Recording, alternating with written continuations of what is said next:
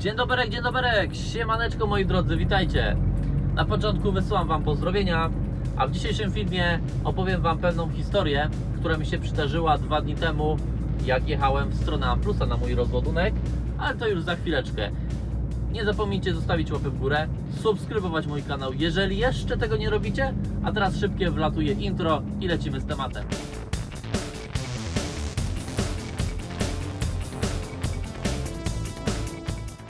Dwa dni temu w drodze na mój rozwodunek do Ampusa spotkałem się z nietypową, z niecodzienną sytuacją.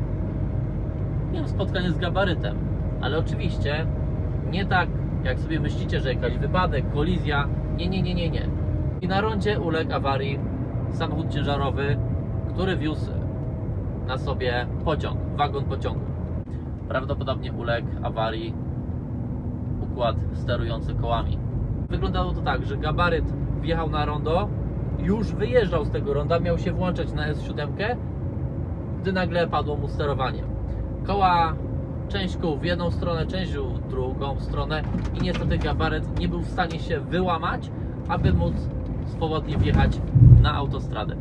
Skutek czego zablokował pas ruchu od Krakowa i przez tą całą sytuację wszyscy musieliśmy omijać go tak jak wjeżdża się na rondo w Anglii, czyli do lewej i omijaliśmy.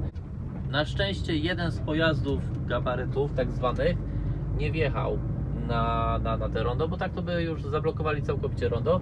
Zatrzymał się tam 50 metrów przed rondem na wysepce no i dał możliwość swobodnego przemieszczania się innym pojazdom.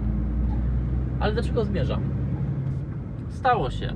To jest e, transport. Takie przypadki się zdarzają na co dzień. Może nie na co dzień, ale zdarzają się. Na radiu słyszałem teksty. I co jest najlepsze, że to byli kierowcy też samochodów ciężarowych, którzy mogliby być w podobnej sytuacji. Zaczęli się wypowiadać, jacy z was są szofery, nie potraficie się złamać, co żeś uszkodził, to tamto, ja bym wsiadł za fajerę i bym ci normalnie przejechał, bierz tam klucz do ręki i sobie rób to wymienię, albo zamów sobie helikopter i was przetransportuje na S7.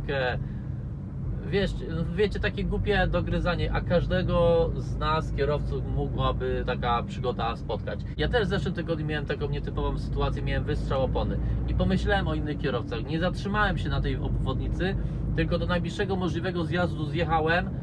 Zjechałem na jakąś uliczkę dojazdową do domków, wręcz lokalna, już całkowicie dziurawa droga była i tam postanowiłem ciąg dalszy z wymianą e, opony e, dokonywać, tak, że wymieniałem opona, a później serwis przyjechał, tak jak już wiecie. To jest transport, takie przypadki się zdarzają. Ja rozumiem, że tam czas i tak dalej, kierowca się śpieszy, tam się utworzył dosyć, dosyć koreczek, było wahadło z jednej i z drugiej strony, ale wiecie co, trzeba mieć trochę oleju w głowie i pomyśleć. Dobra, słuchajcie, koniec tego pitolenia. Wrzucam Wam teraz materiał z relacji z gabarytów. I zobaczcie, taka niespodzianka z samego rana, o poranku.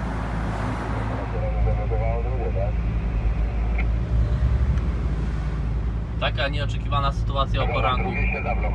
Gabaret zablokował od 8 godzin. Blokuje skrzyżowanie koło Słomnik.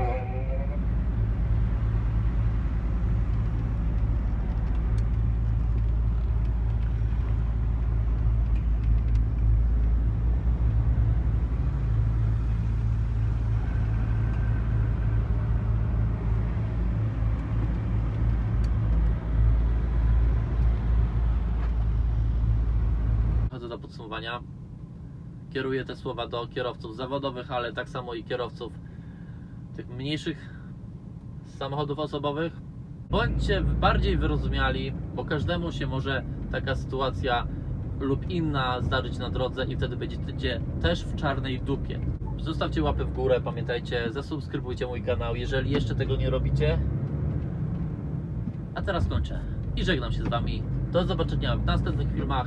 Pozdrawiam gorąco, trzymajcie się, cześć.